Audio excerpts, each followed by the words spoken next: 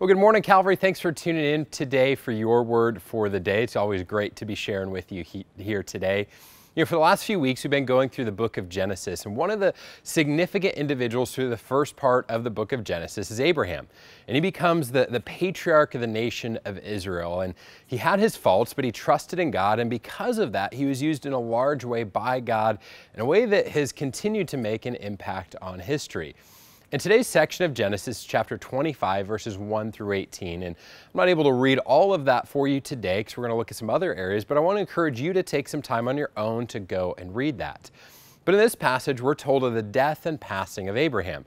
Now, this is a big deal because he was a key individual, but more than that, I want to highlight what was said about him in those last moments. See, verse 8 says that Abraham breathed his last and died at a good old age, an old man full of years, and he was gathered to his people. And it's positive here, but it doesn't say a lot about him and his life, probably because we've been following his story and all the details into the many chapters leading up to this point.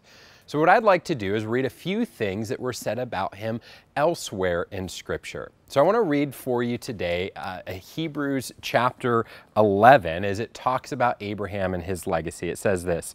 It says, By faith, Abraham obeyed when he was called to go out to a place that he would receive as an inheritance. And he went out not knowing where he was going. By faith, he went to live in the land of promise, as in a foreign land, living in tents with Isaac and Jacob, heirs with him of the same promise. For he was looking forward to the city that uh, has foundations, whose designer and builder is God.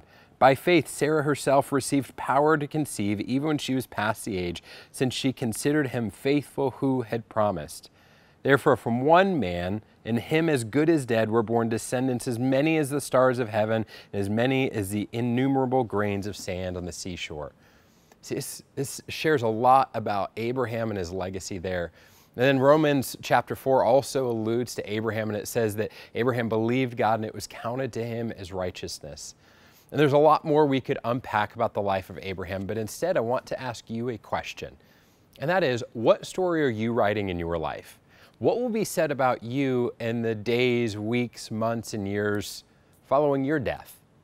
I hope that, that that isn't a question that you take lightly, but one that sticks with you and haunts you to the point that it affects how you view each and every decision in your life.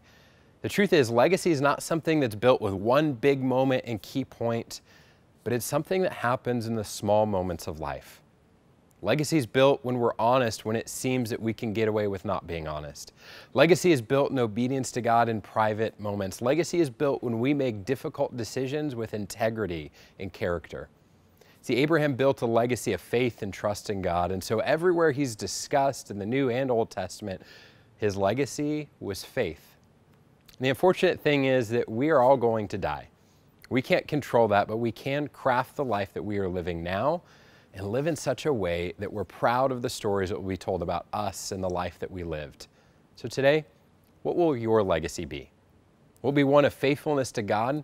Will it be uh, a legacy of integrity and truthfulness? Will it be one of serving others as you serve Christ? What story are you writing with your life? I pray that it will be one that is full of life and full of faith to be told for many future generations. Hope you have a great rest of your Thursday here today, Calvary, and I pray that you write a great story. See you next time.